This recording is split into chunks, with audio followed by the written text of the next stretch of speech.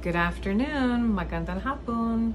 I'm trying durian for the first time. Durian is high in antioxidants. It it can decrease sugar in your blood, blood sugar, um, and has many other health benefits.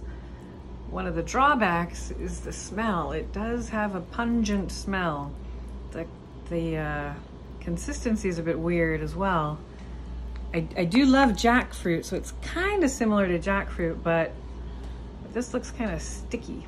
So I'm gonna give it a go here. Let's try. Hmm. It's interesting for sure. The consistency is, it's a good consistency, kind of like um like a cheesecake. The flavor again, pungent for sure uh, very much an acquired taste. So um, I'll have to try it again, maybe in a few weeks. But but thank you.